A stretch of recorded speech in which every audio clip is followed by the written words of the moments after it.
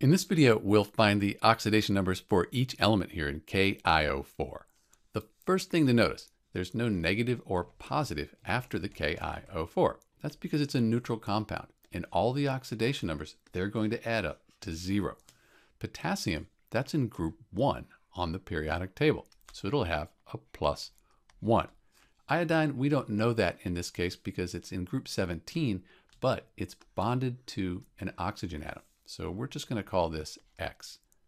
For the oxygen, that's almost always minus 2, with a few exceptions.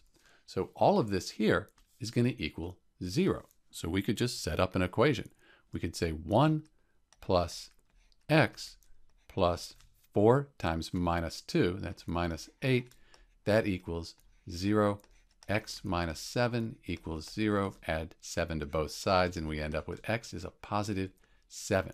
So the oxidation number on the iodine in KIO4, that's going to be plus 7.